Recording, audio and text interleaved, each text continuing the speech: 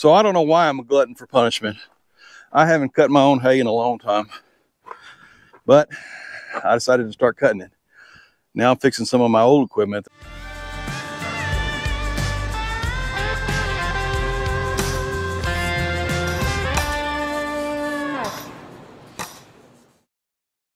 This is an old rake that I used to use years ago.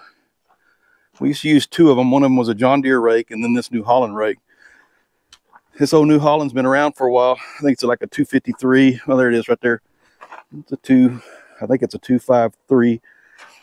It's a roller bar rake. I've had this thing for so long, I don't even know how long I've had it. Uh, it's got some small issues, but but for the most part, it still works and it works good, actually uh, these old rakes are, are really good rakes. Now here's the problem. Right there, you see that tire? That is a good tire, but it's flat. Now, there's a story behind this tire because it's flat. Flat because there was a fire. Some of the grass around it caught on fire. Now, I'm not going to say out loud who caught the grass on fire. First thing I got to do is get this thing jacked up. Where's a part of the drive line that goes across the back, so I got to miss it.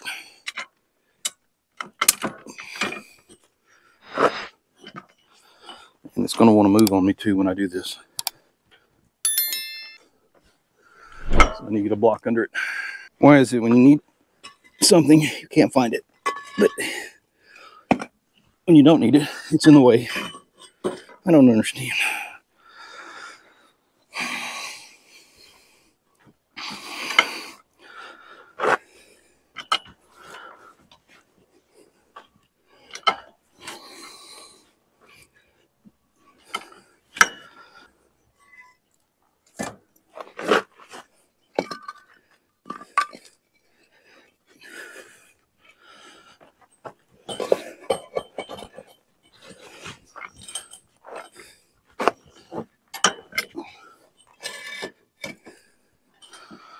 All right. She's blocked up and safe enough. Oh, I hate this stuff.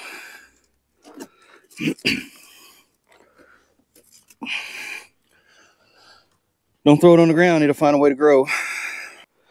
The tire is actually no good. The tire caught on fire. And as you can see, the tire is no good. So I got to take the tire down and have it replaced with a new tire. I hope I can find one. But I also have found another issue. The bearings in this thing look like they're no good as well. We'll have to pull that apart and take a look at that too. It's not one thing, it's something else.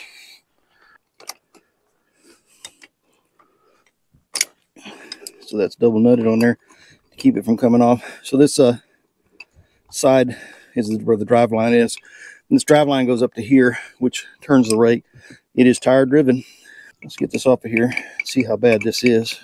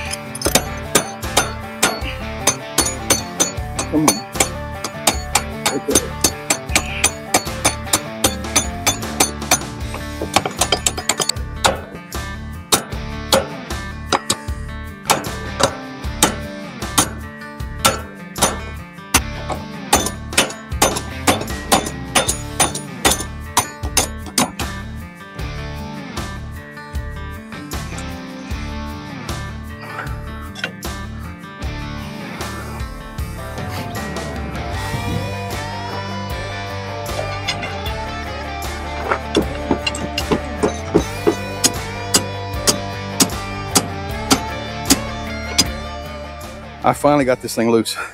So we're gonna take this tire off of here. And you have these dogs in here. And that's actually kind of loose. We need to fix that.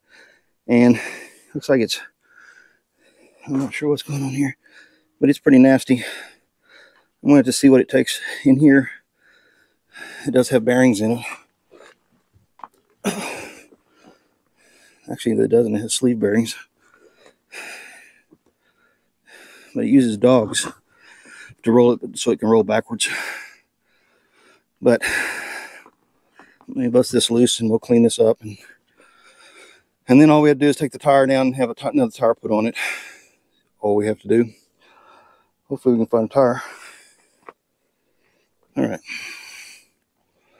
Let's do that. So we're going to go ahead and bust these loose. Wrong direction. Mm.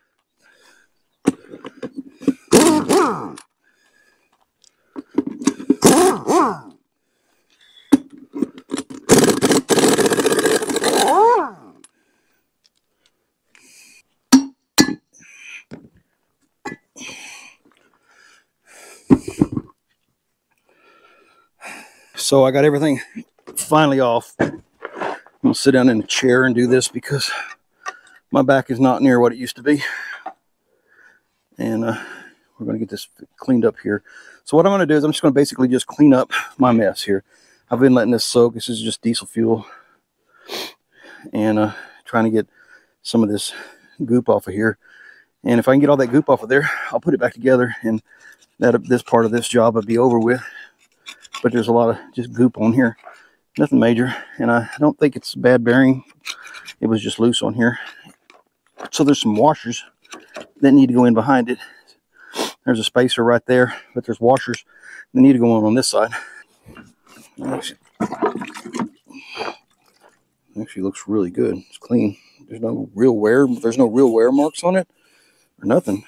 I expected to see the, the old teeth in here wore out a little bit, but they're not. They're in good shape. That's pretty good.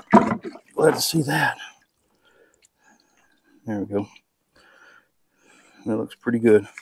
So I'm extremely old school, okay? This is the way I have done um, cleaning parts and ever since I was young, when we were be rebuilding the engine, we would use diesel fuel to clean it with. Everything I ever did was with diesel fuel. Why did I use, why did we use diesel fuel? Because it was cheap and it was old. That's the old school way of, of doing things. And that's how I learned. I didn't learn from, I didn't go to school to become a mechanic. I had to learn everything the OJT way or the hard way, you know, school of knocks. And that's, that's the way it is. You know, you've got to, in order to learn some of this stuff, sometimes you just have to jump out there and get it done. There's a inside of here, what I'm doing here is there's a see that that's a there's a little journal basically in there. Yes, I'm grabbing. There's a rag under there, and I'm picking it, catching it, uh, and I'm cleaning that journal out so that I can uh, get the dirt out of it. That's where that's where the grease port's at. So just getting in there and getting that cleaned out. That's got it pretty good. That all looks good. All right, so this piece right here runs on these.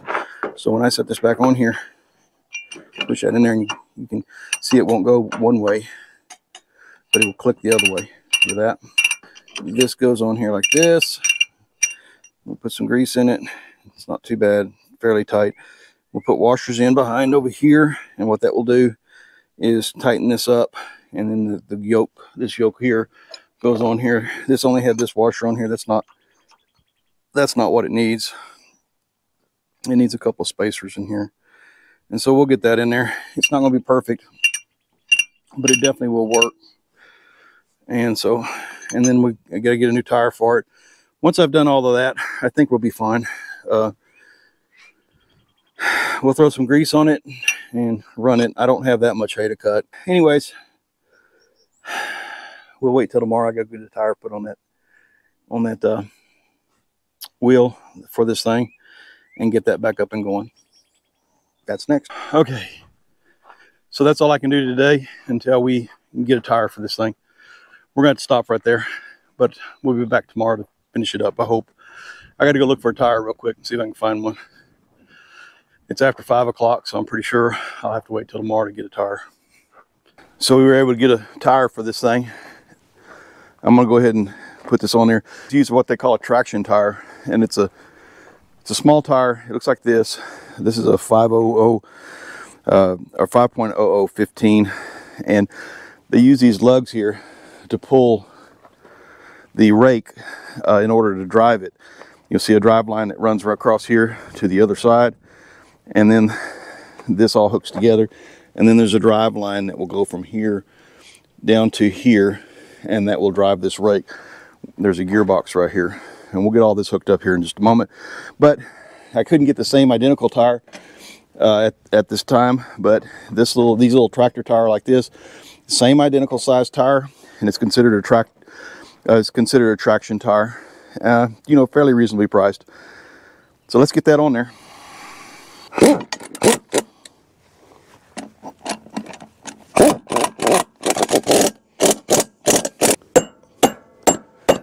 Way too much spacer in there the first time.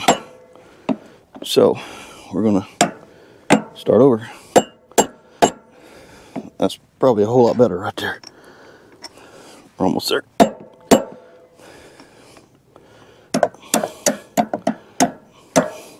So this is a grade 5 bolt. It's just a softer bolt. They break easier than maybe like a grade 8 or, or higher. You want something soft on these so that if you hit something with the rake, it will break the bolt and not your equipment. And so it's a shear pin. That's all it is. And so we're going to tighten this up and then we're going to double nut it to keep it from coming off is what we're going to do. So put the second nut on there and tighten that up. That should secure it so it doesn't come loose.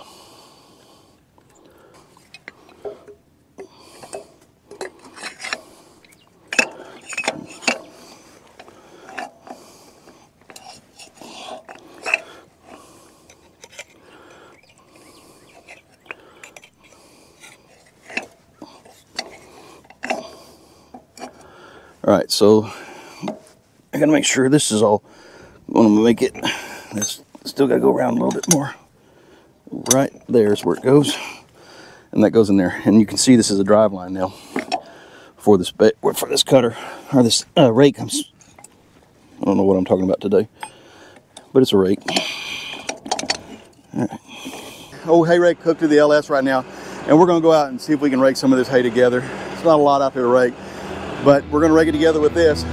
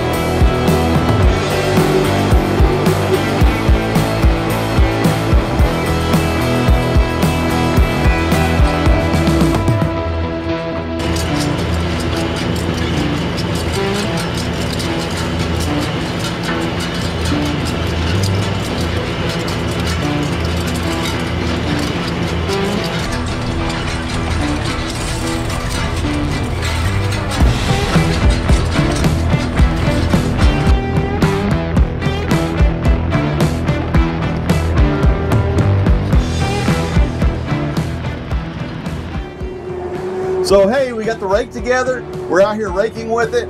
it it's a good rake. It's doing its job. Look, we appreciate everybody that come along with us as we go on this ride. But until next time, thanks.